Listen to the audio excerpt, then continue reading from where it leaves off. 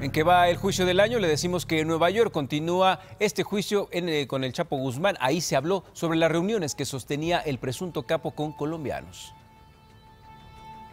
Avanza el juicio de Joaquín El Chapo Guzmán con las declaraciones de otro testigo, Germán Rosero, uno de los lugartenientes del anterior testigo Juan Carlos Ramírez Abadía Chupeta, quien relató entre otras cosas durante su interrogatorio por parte de la Fiscalía que se reunió varias veces con el Chapo entre los años 2003 y 2006, que las reuniones eran en las montañas del conocido como Triángulo Dorado, que al Chapo le gustaba vestir de ropa militar y tener armas con joyas como un rifle AK-47 enchapado en oro con piedras preciosas.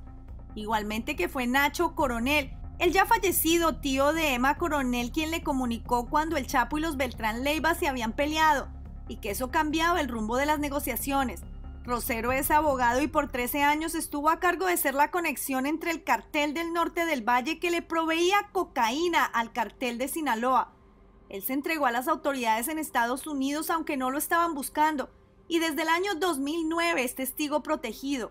Al igual que el cartel de Sinaloa, Chupeta y sus hombres tenían sobornadas a las autoridades y a la DEA, que no recibía efectivo, les mandaban prostitutas y apartamentos de regalo. En el contrainterrogatorio por parte de la defensa, este testigo dijo haber ganado 100 dólares por cada kilo de cocaína que coronaban y un bono de hasta 200 mil por cargamento, algo modesto comparado con sus socios. Entre tanto y por primera vez Emma Coronel fue vista sin sus tacones y en un diálogo en el elevador de la corte manifestó estar preocupada por verse muy chaparrita, pero nos dijo que lo hizo porque en el intermedio se fue a dar una caminata. Más adelante se espera conocer el testimonio de varios agentes del gobierno sobre incautaciones de cargamentos y también de comisos de efectivo. Para Imagen, Ángela González. Imagen Noticias con Paco Sea, lunes a viernes 5.50 AM. Participa en Imagen Televisión.